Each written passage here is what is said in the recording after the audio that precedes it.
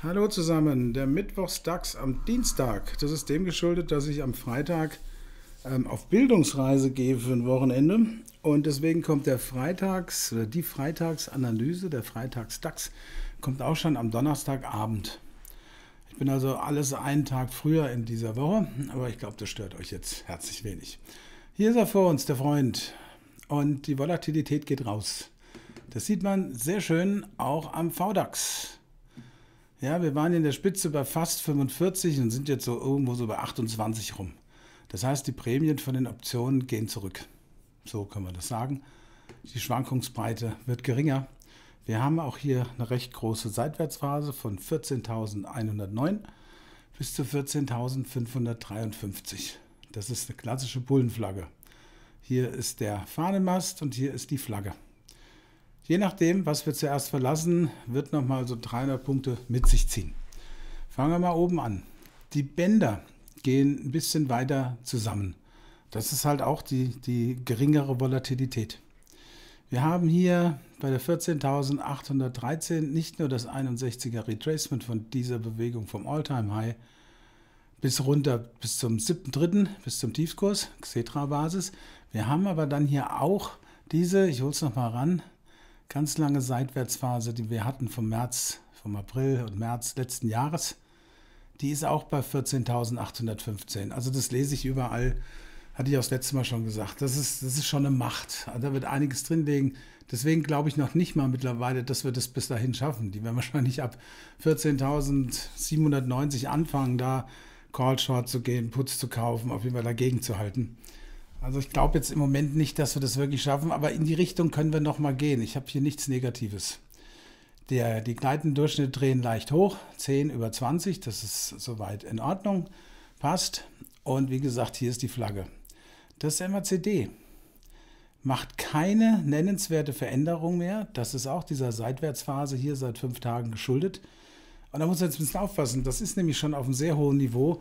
Nicht, dass jetzt hier verkürzte Histogrammbalken kommen. Wenn dem so ist, dann ist die Wahrscheinlichkeit, dass wir fallen, erheblich größer. Wir gelten als überkauft, aber da warne ich ja immer davor. Nur weil wir hier hoch sind, heißt es noch lange nicht, dass wir jetzt gleich hier runtergehen. Dass wir also sowas hier machen. Oder habe ich dann auch irgendwie sowas da? Das muss nicht sein. Das kann sich über noch ein paar Wochen hinziehen. Nach wie vor leben wir, das sage ich ja auch in jedem Interview, von den Nachrichten, die da über die Laufbänder kommen. Und ähm, das, das ist eigentlich der, der Aktionstrigger. Da passiert dann dementsprechend was. Aber von hier muss ich sagen, und auch von hier vom MACD, auch von den Bändern her, alles zusammen, wir können da noch hochgehen, nochmal in diese Richtung 14.000, was weiß ich, 790, 14.800. Aber ich glaube, in dieser Bewegung nicht hier drüber. Das sehe ich also auch nicht. Gucken wir mal auf vier Stunden. Die sieht nämlich gar nicht so anders aus. Hier ist auch die Flagge. Ja, ist ein bisschen länger gezogen. Gleiche Punkte, 14.109 bis zu 14.553. Auch hier sind wir hoch über den Oszillator, neutral über das MACD, die Bänder recht eng schon. Die Bänder sind fast identisch, auch hier 14.112 und hier oben ist es 14.000, was ist das hier, 600. Ja, also identisch mit, dem, mit der Flagge hier. Also auch von hier A, kein Impuls und B, scheint es doch hier eine heftigere Bremse zu geben. Gucken wir nochmal auf die Stunde, ob es da irgendwas tut. Stunde genauso überkauft, ebenfalls neutral, relativ enge Bänder, ohne Signalwirkung. Also auch hier mm, noch nichts Negatives, aber nicht weiter oder nicht nennenswert Positives, sagen wir es mal so rum. Ich gehe mal zurück auf den Tag. Hier ist der Tag. Also wenn ich hier so auf die Kurse, das seht ihr nicht, ich habe hier links so eine Liste mit den ganzen Kursen aus des Eurostox und DAX.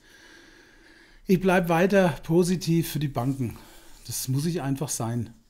Ja, wenn sie es hier nicht verdienen, dann verdienen sie es in Amerika. Ich ähm, finde nach wie vor die Bayer sehr schön. Ich mag immer wieder die Lufthansa. Ich kann mit den Autos, auch wenn jetzt die BMW mal gestiegen sind, nicht so viel anfangen. Ja, die Banken sind eigentlich das, was ich am interessantesten finde muss ich wirklich sagen. Jetzt waren es heute auch mal wieder, oder seit ein paar Tagen schon wieder die Adidas, die Puma, die da stärker gestiegen sind. Das ist Nike geschuldet. Hat mich überrascht, dass die Nike-Zahlen doch ordentlich waren, muss ich sagen. Hätte ich jetzt so nicht gedacht, aber das ist in Ordnung. Hier findet so eine Rotation statt, aber momentan sind es mal wieder die Banken, also eine deutsche, die jetzt bei 11,71 steht, Deutsche Bank.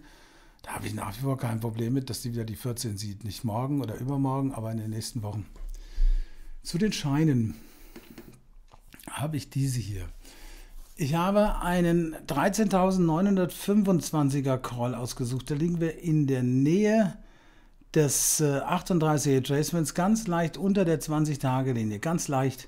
Das ist für den Fall, entweder, wenn wir jetzt mal schnell hier rausgehen, wäre das eine Möglichkeit. Da kann man aber auch enger rangehen, hier so 14.050. Oder auch, wenn wir mal wieder hier runtergehen und die untere Range testen. Das ist die GK25Z5. Hebel 24 finde ich absolut in Ordnung. Den Put habe ich genommen oberhalb von dem oberen Band 15.216.